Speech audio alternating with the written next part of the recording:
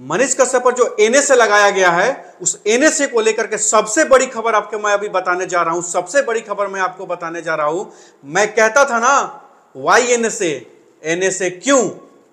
माँ भी कहती थी एनएसए क्यों? बॉर्डर पर देश की रक्षा कर रहा, वह पिता भी पूछा एनएसए क्यों?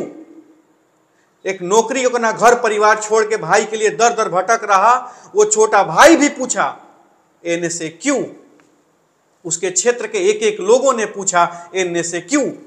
उसके दोस्तों ने पूछा एन से क्यों? पूरे बिहार वासियों ने पूछा एन से क्यों? सुप्रीम कोर्ट ने भी पूछा था, वाई एन से? एन से क्यों? और आज और आज दोस्तों, इस वीडियो को अधिक से अधिक शेयर करिएगा। सब तक पहुंचाइएगा मैं जो बताने जा रहा हूँ। सब तक पहुंचाइए। आज तमिलनाडु के कोर्ट ने भी पूछ दिया राज्य सरकार से कि why N S N S क्यों? क्यों एन लगाया गया? जो भी मामला दर्ज था वहाँ पे, उसमें बेल मिल चुका है। सभी केसों में बेल मिल गया। अब सरकार ने पूछा है कि यह क्या ज़रूरत पड़ गई कि एनएसए आपने लगाया? उसमें जवाब दीजिए। और तमिलनाडु की सर जज साहब ने क्या कहा है? पता है? कोर्ट ने क्या कहा तमिलनाडु की कोर्ट ने राज्य सरकार के सचिव साहब से सेक्रेटरी साहब से पूछा गया है, जवाब दीजिए। जवाब दीजिए कि एनएसए क्यों लगाया गया है? और यहाँ तक कि साथ साथ केंद्र सरकार के भी सचिव महोदय से पूछ दिया गया है कि that why NSA why NSA compulsory in this case Who is Manish Kashyap? What he has done wrong with the country? That NSA compulsory for that person. But nobody has no answer. They are completely playing bad game with the Manish Kashyap of Bihar. This is the bad game ये सबसे खराब खेल खेला जा रहा है मनीष कश्यप के साथ इस सिस्टम के द्वारा जज साहब पूछ रहे हैं इनसे क्यों कोई सबूत नहीं मिला इन मनीष कश्यप के खिलाफ उस तरह का। किसी और ने वीडियो बनाया, लिंक भेजा गया साजिश के तहत, और जो बिहार के लिए छन छन तड़पता रहता है पल पल तड़पता रहता है, बिहारी मजदूरों के लिए तड़पता रहता है, हम लोगों के मन में भी हमेशा दर्द रहता है, सीने में दर्द रहता है कि बिहारी मजदूरों को कैसे सताया जाता है, और वो बिहार से बाहर जाकर पेपर पर पेपर पर चावल दाल खाते हैं कि, खाते हैं कि नहीं खाते हैं? ईमानदारी से सीना पर हाथ रख के कहिएगा कि बिहार से बाहर रहने वाले जितने भी लोग हैं, कमाने के बाद रिक्शा चेला चलाने के बाद, ठेला चलाने के बाद, मजदूरी करने के बाद फैक्ट्री में काम करने के बाद, बिल्डिंग में काम करने के बाद, फुटपाथ पर बैठ के चावल में, पेपर में चावल और रोटी खाते हो कि नहीं खाते हो भाइयों? खाते हो कि नहीं खाते हो? मैं झूठ बोल रहा हूँ क्या? मैंने अपनी आँखों से देखा है। वो दर्द, वो तकलीफ़, वो जोश, वो जुनून, सारे उस जोश जुनून को ठंडा कर देता है, वो दर्द और तकलीफ़। अरे हम तो बिहारी अपने मेहनत के दम पर अपना पहचान बनाना जानते हैं। अपने काबिलियत के दम पर अपना पहचान बनाना जानते हैं। हम तो ये भी नहीं कहते कि हमको अपने हिस्सा से बांट के दे दीजिए। हम तो यह कहते हैं कि बस हमें एक मौका दे दीजिए खुद को साबित करने का। एक मौका दे दीजिए हम यह बताने का कि हमारे अंदर में क्या टैलेंट है। लेकिन नहीं, ये साजिश पे साजिश साजिश पे साजिश, अपने बेटों की, अपने बेटियों की ज़िंदगी बचाने के लिए, ज़िंदगी बनाने के लिए किसी भी किसान, मजदूर और जवान के बेटों की बलि चढ़ा दी जाएगी। क्या क्या क्या ज़रूरत पड़ गई थी यार? बहुत ऐसे ऐसे भी मनीष का सबसे भी ज़्यादा ज़्यादा पॉपुलर लोग हुए हैं। उनसे तो इस तरह का भेदभाव नहीं किया गया। फिर मनीष कश्यप के साथ ये डिस्क्रिमिनेशन क्यों? ये डिस्क्रिमिनेशन क्यों हो रहा है मनीष कश्यप के साथ? क्या गुनाह कर दिया यार मनीष कश्यप ने बहुत सारे यूट्यूबर हैं। बहुत सारे सोशल क्रिएटर हैं, बहुत सारे पत्रकार हैं, काम करते हैं। अब सत्ता की गुलामी नहीं किया तो मनीष कश्यप दोषी। सत्ता का लालची नहीं बना तो दोषी। सत्ता के आगे पीछे नहीं घुमा तो दोषी। सत्ता का गुलामी नहीं किया तो दोषी। चटुकारिता नहीं किया तो दोषी। तो सुन लो साहब, मैं कहना चाहता हूँ, हम बिहारी है बिहारी। तुम्हें भी दिख रहा है यहाँ सूखा है, मुझे भी दिख रहा है यहाँ सूखा है। पर अपने प्रयास अपने प्रयास का एड़ी इतना रगड़ेंगे इतना रगड़ेंगे इतना रगड़ेंगे, वही रगड़ेंगे, एक बार फिर रगड़ेंगे, एक बार फिर रगड़ेंगे और इतना रगड़ेंगे एड़ी वहीं पर प्रयास का कि सूखे ज़मीन से पानी निकाल देने का काम करता है बिहारी। वो बिहारी है, वो जुनून, वो ताकत हो और वो हौसला रहता है बिहारी के अंदर। आपको क्या लगता है कि साजिश में फंसा कर किसी बिहारी का दम तोड़ दीजिए, तोड़ तोड़वा दीजिएगा आप? हिम्मत तोड़वा दीजिएगा आप? भरम है भरम। हम कानून को हाथ में लेके चलने का काम नहीं करते हैं, हम कानून को साथ में लेके चलने का काम करते हैं। कहीं के भी, कहीं का भी एडमिनिस्ट्रेशन हो, बताए कि उन्हें हम सपोर्ट नहीं करते हैं, उनके कार्यवाही में हम सपोर्ट ना करते हो, उनका मान सम्मान नहीं करते हो, उनका इज़्ज़त नहीं करते हो। बहुत सारे कानून के भी लोग हैं, लाचार हैं, क्या करें? आदेश है।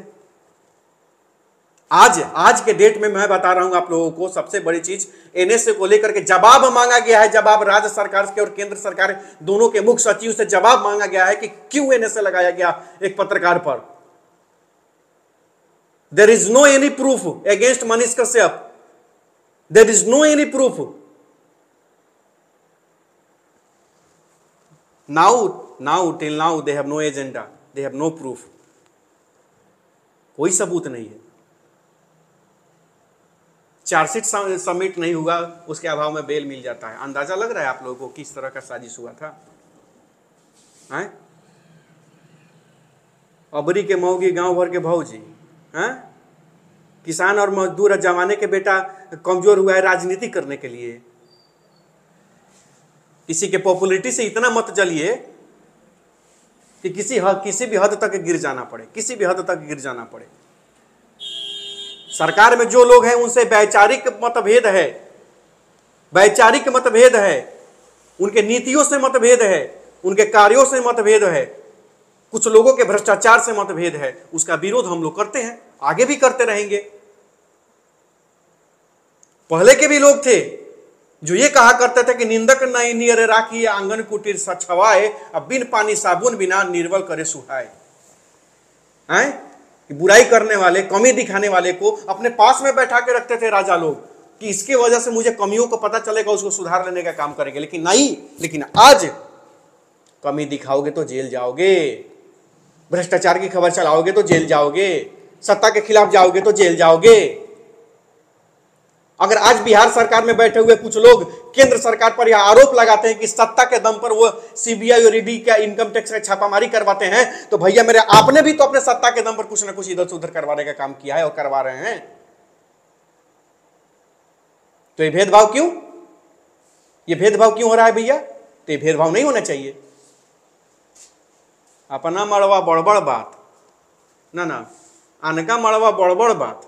अपना मड़वा माथा पर हाथ। हैं? ऐसा नहीं होना चाहिए। लेकिन कोई फ़र्क नहीं पड़ता है। आज बिहार की, आज बिहार के अड़तीसों जिला का बात मैं करता हूँ, बिहार के हर ज़िले की बात करता हूँ, हर ज़िले से, हर ज़िले से लाखों नौजवान मनीष कश्यप के समर्थन में खड़े हैं और मैं आह्वान कर रहा हूँ, मैं मिल रहा हूँ सबसे जाकर, मैं टीम खड़ा कर रहा हूँ एक नए बिहार की। प्रयास कर रहे हैं, नौजवान है, प्रयास कर रहे हैं। बिहार में प्रयास करने का सबका अधिकार है, कानून सबको अधिकार देता है। कानून सबको अधिकार देता है बोलने का, समानता का अधिकार देता है। लेकिन समानता का अधिकार बिहार में है नहीं, लेकिन उसी समानता के अधिकार को हम लोग को स्थापित करना है। जब तक जातीयता के कीड़े लोगों के दिमाग में घूमते रहेंगे, तब तक बिहार का विकास संभव नहीं है। और एक गरीब मजदूर जो हर जाति में पाए जाते हैं, हर जाति में पाए जाते हैं गरीब मजदूर जो बिहार से बाहर जाकर तड़पते हैं, उनका परिवार यहाँ बिहार में तड़पता है। कमी की वजह से वो तड़पते रहेंगे। अगर उस तड़प को दूर करना है, उस मजबूरी को दूर करना है, उस उस बेबसी को दूर करना है तो बिहार को सशक्त होना होगा, बिहारियों को सशक्त होना होगा। और बिहारियों को बिहार में भी रोज़गार मिले, चाहे या स्वरोजगार मिले, या उनको अपना रोज़गार मिले, अपनी व्यवसाय कराने का वो छूट दिया जाए, उतना व्यवस्था करा जाए, तब जाके बिहार समृद्ध होगा। अब देखिए ना, जिस दिन इस नौजवान सबका जमाना आएगा ना, बिहार से बाहर के, देख लीजिएगा, नोट कर लीजिएगा, आज अनिकेत रंजन का यह भविष्यवाणी है आने वाले दस, अगर हम लोगों को मौका मिले तो आने वाले दस से पंद्रह सालों में, दस से पंद्रह सालों में बिहार में हिंदुस्तान के अन्य अन्य राज्यों के लोगों को आना पड़ेगा रोज़गार के लिए। अन्य राज्यों के लोगों को आना पड़ेगा नौकरी करने के लिए हम लोग, हमारे बिहार की फैक्ट्रियों में। तब कलेजे को ठंडक मिलेगी, सुकून मिलेगा। उस दिन सुकून मिलेगा। वो राजनीति हम लोगों को करना है। वो व्यवस्था स्थापित करना है बिहार में। और होगा। हर जाति, हर धर्म के लोग मेरे साथ हैं, हमारे साथ है और वो हमारे ताकत है। और मनीष कश्यप पर बहुत जल्द एन से हटने जा रहा है। उसी संविधान, उसी कानून पर हमें भरोसा है। जिस कानून और जिस संविधान का हम लोग सम्मान करते हैं, कुछ लोग उसको ढाल बनाने का, लवर तीनों आने का काम करते हैं, लेकिन कोई दिक्कत नहीं, हम तो उसका सम्मान करते हैं। और वहीं हमें न्याय दिलाएगा और मनीष कश्यप से एन भी हटेगा, मनीष कश्यप बिहार से बाहर भी आने का काम करेगा। इस संविधान का पर मेरा विश्वास बोल रहा है। और मुझे पूरा भरोसा है कि हम लोगों के साथ न्याय होगा। जय हिंद, जय बिहार। इस वीडियो को अधिक से अधिक शेयर करके ज़रूर सब तक पहुँचाने का काम करिए। प्रणाम।